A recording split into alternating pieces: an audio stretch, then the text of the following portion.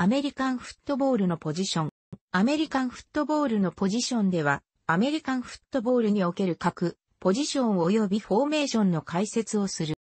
括弧内は各ポジションの略称である。オフェンスチームとは、攻撃を担当する選手たちのこと。バックスレシーバーズは、スクリメージラインから1ヤード以上後方、バックフィールドにセットする選手、バックス、及びオフェンスラインの両端にセットする選手、エンドの総称。通常のプレー中にボールに触れることのできる有資格ポジション。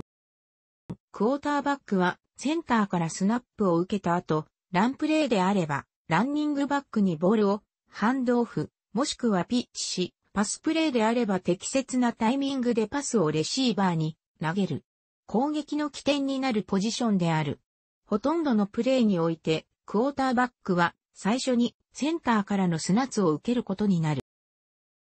ランニングバックは、クォーターバックからハンドオフされたボールを持って走るのが主な役割である。ランプレーにおける中心選手。敵陣めがけて1インチでも多く突っ込むのが仕事。パスプレーにおいては、パスのターゲットとなったり、ラインと一緒にクォーターバックを守ることもる。セットする位置によって、というように呼び分けることがある。ワイドレシーバーはパスプレーの際にクォーターバックから投げられたパスをキャッチすることが主な役割である。クォーターバックと共にパスプレーの主役となるポジション。単にレシーバー、またはワイドアウトとも呼ばれる。主に足の速さと確実な補給能力や、他には敵ディフェンシブバックに競り勝つ身長の高さや腕の長さが要求される。セットする位置によってというように呼び分けることがある。タイトエンドは左右どちらかのタックルのすぐ外側に位置し、状況に応じ、パスキャッチとブロックの両方を行うポジション。単純に言えば、ワイドレシーバーとオフェンシブラインを組み合わせたポジション。役割が似ているため、稀にフルバックの選手が兼任する場合がある。その逆もある。オフェンシブラインはスクリメージライン上、ラインから1ヤード未満にセットする選手。ライン面とも言う。センター、ガード、タックル、及びエンドからなる。ただし、エンドを除き、スナップ時にセンターがボールを持つ以外、ほとんどボールに触れることが認められない無資格プレイヤーであるため、オフェンシブラインといえば、エンドを除く中央の5人、インテリアライン面と呼びを指す場合が差は、パスプレーにおいて、ボールをキャッチできないスクリメージラインを超えてはいけない、といったルール上の制限はインテリアライン面に対するものである。インテリアライン面は、ランプレーにおいては、ランニングバックの走路を切り開くためのブロックを行い、パスプレーにおいてはパスを投じるまで、クォーターバックを保護、パスプテクションする。ボールを扱わないため目立たないポジションであるが、オフェンシブラインの働きが、ラン、パスともに攻撃の成否の鍵となる。オフェンスの強いチームは必ず優秀なオフェンシブラインを要する。センターは通常オフェンシブラインの中央に位置する。スクリメージラインからクォーターバックにボールをスナップする役割がある。プレー開始後は他のラインメンと共同してブロックを行う。センターは多くの場合、守守備体型に応じてコールを行うため明晰な頭脳も求められる。ガードは通常センターの両側に位置するポジション。レフトガードとライトガードの2名。他のラインメン同様にランプレーとパスプレーの際のブロッキングが主な役割となる。ラインメンとしてのパワーだけでなく、プルアウトやプルイン、トラップ、スイープ、スクリーンパスといったプレーで多様な仕事を行うことが求められるので機敏な運動能力も求められる。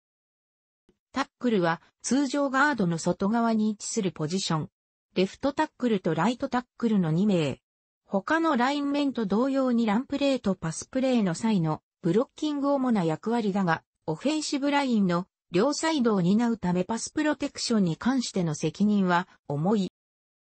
ディフェンシブタックルと区別するため、オフェンシブタックルと呼ぶこともあるが、単にタックルといった場合は、こちらのポジションを指す。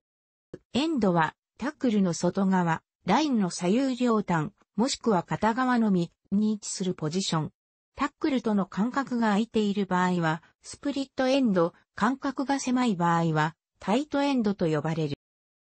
スクリーメージライン上には、ルール上最低7人以上配置しなければならないため、通常はスプリットエンド1名とタイトエンド1名を置く。なお、スプリットエンドはワイドレシーバーの一人として考える。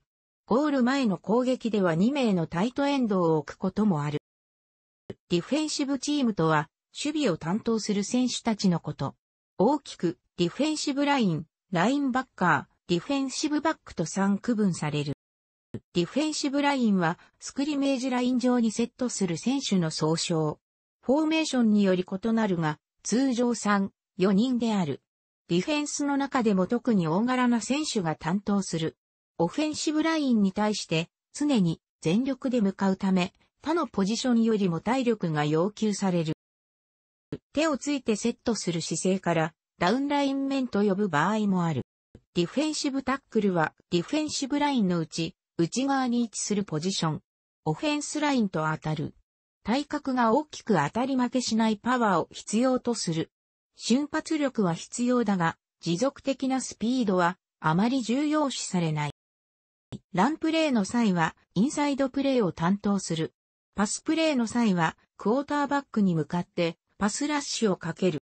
ディフェンシブラインが3名の時は、ディフェンシブタックルは1人となり、その場合は、ノーズタックルと呼ばれる。ディフェンシブラインが5名の時は、ディフェンシブタックル2名と中心にノーズタックルが位置する。ノーズガード、またはミドルガードとも呼ばれる。ディフェンシブラインが4名の場合では、ウィークサイドのディフェンシブタックルをノーズタックル、ストロングサイドのディフェンシブタックルをコンボタックルと呼ぶ場合もある。ディフェンシブエンドはディフェンシブラインのうちディフェンシブタックルの外側に位置するポジション。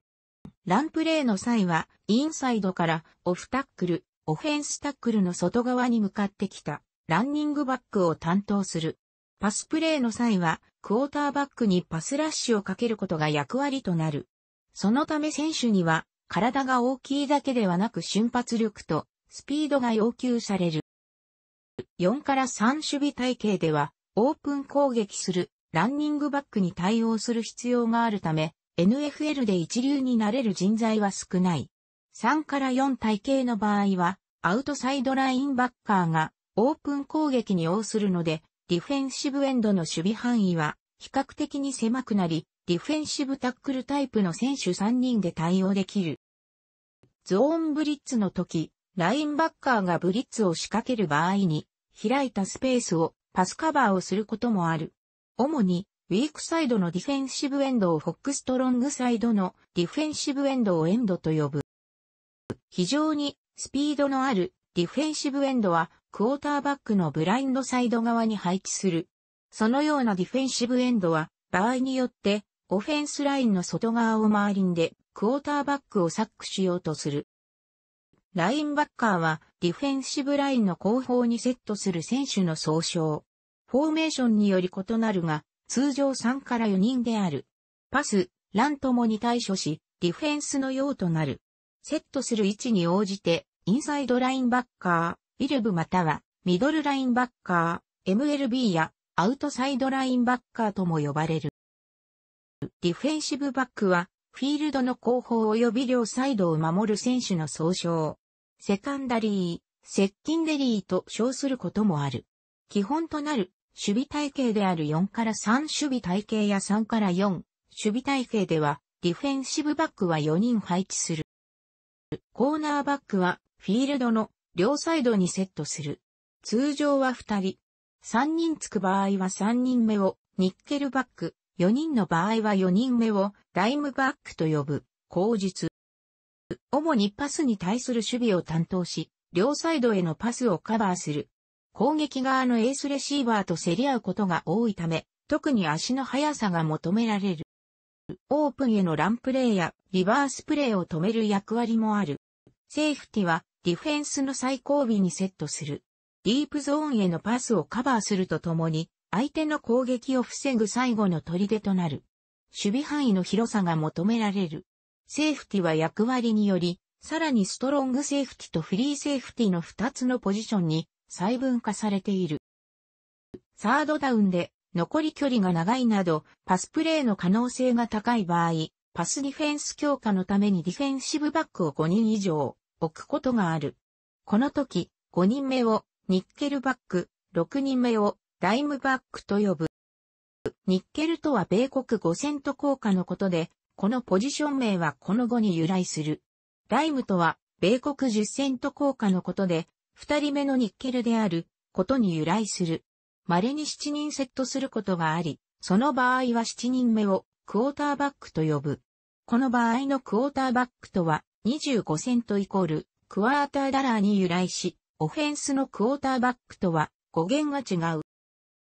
スペシャルチームとは、キッキングゲーム、キックオフ、フィールドゴール、パントでプレーする選手たちのこと。